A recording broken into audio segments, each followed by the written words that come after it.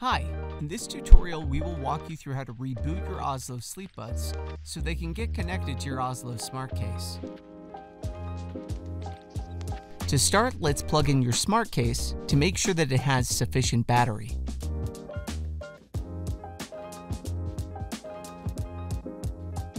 One of your middle smart case lights should be glowing to indicate that your smart case is charging. If all five lights are solid, this means that your smart case is fully charged. Now remove the right sleep bud from the case. Take the silicone tip off of the sleep bud by holding the base of the silicone tip and peeling the tip back and gently slide the sleep bud out of the tip. On the bottom of the sleep bud, you will see two gold circular charging pads and a silver pill-shaped magnet. You need to invert the sleep buds 180 degrees from how they are normally placed in the smart case. Press the two charging pads onto the charging pins in the smart case for a few seconds. The best way to ensure a proper connection is to not let the magnet on the smart case and the magnet on the sleep bud attach to each other. Now, reinsert the right sleep bud into the right silicone tip.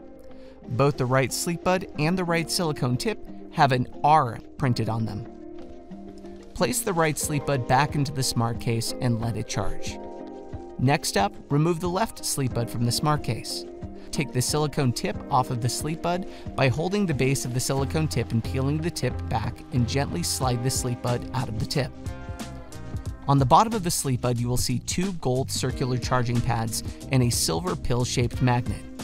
You need to invert the sleep buds 180 degrees from how they're normally placed in the smart case. Press the two charging pads onto the charging pins in the smart case for a few seconds.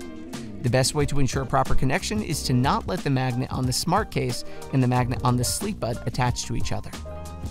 Now reinsert the left sleep bud into the left silicone tip. Both the left sleep bud and the left silicone tip have an L printed on them.